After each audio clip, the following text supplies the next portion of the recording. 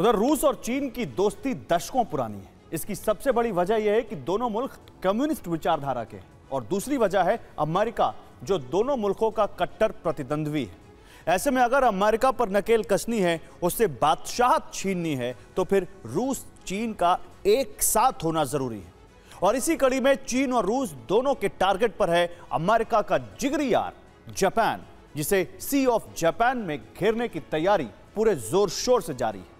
जानते हैं क्यों? दरअसल पैसिफिक रीजन में महाशक्ति अमेरिका का दबदबा कम करना है तो फिर जापान पर कंट्रोल ज़रूरी है। आखिर क्यों? देखिए। समंदर के अदृश्य हथियारों का काफिला।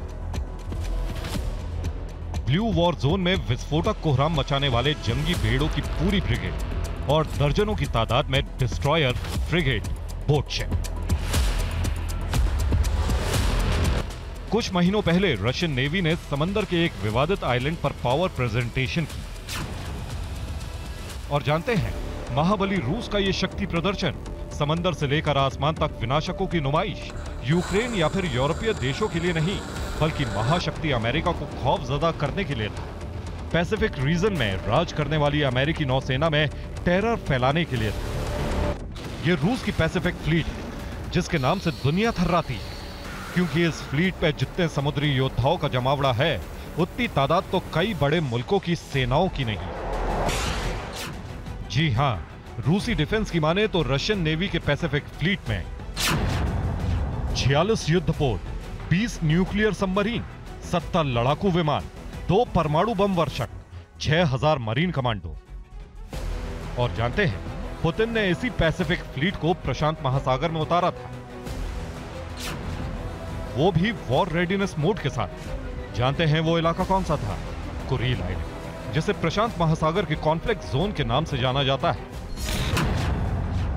दरअसल जापान के होम आइलैंड ऑफ़ होक्काइडो और रूस के शेखलिन आइलैंड के बीच सी ऑफ़ ओखोत्स के पूर्वी दक्षिणी छोर पर कुरील आइलैंड है, जिसे जापान अपना आइलैंड बताता है, मगर इस कुरील आइलैंड पर कब्जा रूस का है।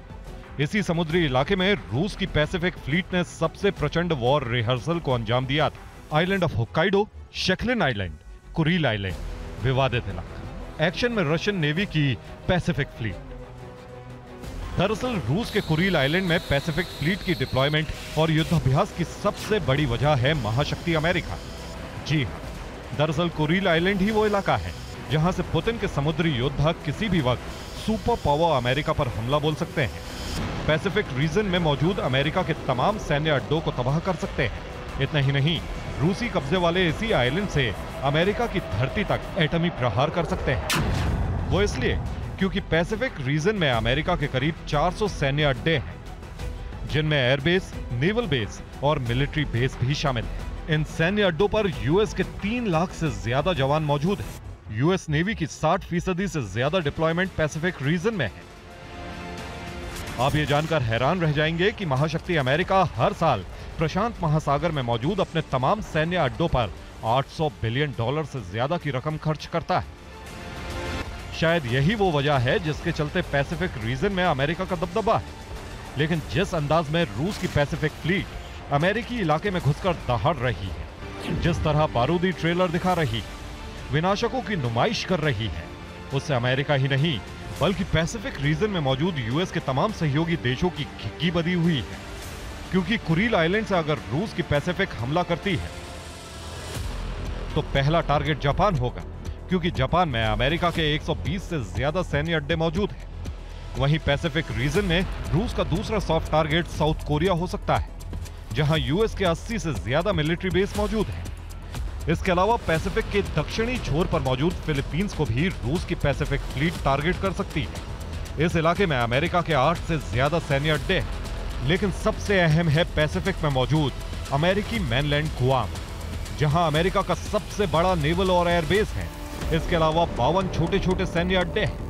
इतना ही नहीं, पैसिफिक रीजन में मौजूद अमेरिकी मैनलैंड हवाई को भी रूसी नौसेना टारगेट कर सकती है, क्योंकि हवाई के होनोलुलु में ही अमेरिकी नेवल बेस पर्ल हार्बर मौजूद। है इसके अलावा एक सैन्य अड्डे हैं। ऐसे में अगर पुतिन को अमेरिका का ध्यान भटकाना है, अगर बाइडेन का फोकस यूक्रेन से पैसिफिक रीजन में शिफ्ट करना है तो भी कुरील आइलैंड पर न सिर्फ़ कब्जा रखना होगा, बल्कि इसके साथ साथ जापान और पैसिफिक रीजन में दबदबा बढ़ाना होगा।